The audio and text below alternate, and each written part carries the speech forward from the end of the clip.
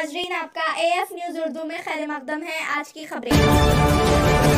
संगारेडी में पचहत्तरवें जश्न यौम आज़ादी के मौके पर मोहम्मद याकूब अली नुमाइंदा मजलिस काउंसलर ने मेहबान मजलिस और बड़े बुज़ुर्ग हजरात अलहाज फ़कीर, मोहम्मद मोइजुद्दीन, मोहम्मद अब्दुल वहीद, मोहम्मद अब्दुल हफीज़, मोहम्मद उस्मान कुरैशी, मोहम्मद मोइज़, मोहम्मद आबिद, एम ए वहीद, मोहम्मद समी और दीगर के हमरा महल ऊपर बाज़ार संगारेडी में कौमी परचम कुशाई अंजाम दी। इस मौके पर मोहम्मद याकूब अली ने पचहत्तरवें जश्न यौम आज़ादी की मुबारकबाद दी। बाद इन्होंने जलाल बाग संगारेडी में मदरस से अनवरुल मुस्तफ़ा में हाफिज़ मोहम्मद शहबाज कादरी और हाफिज़ मोहम्मद आमिर निसार की निगरानी में कौमी परचम कुशाई अंजाम दी। इस मौके पर हाफिज़ मसीउद्दीन ने जंग आज़ादी पर मुख्तसर खिताब किया।